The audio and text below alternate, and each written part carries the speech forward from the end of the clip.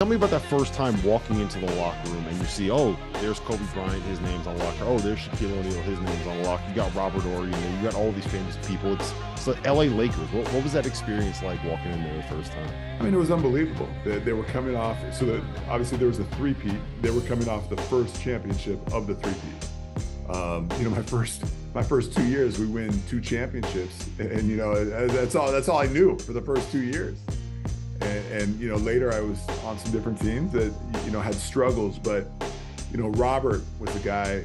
My locker room at the Staples Center was was right next to Rob, and so he and I would talk a lot. He was a great mentor. You know, Shaquille. I mean, you talk about a great teammate, someone that just cares about every single man in the locker room, makes it fun. Um, you know, always laughing, always joking. But then when the game started, I mean, he was he was all business. He, he was punishing people.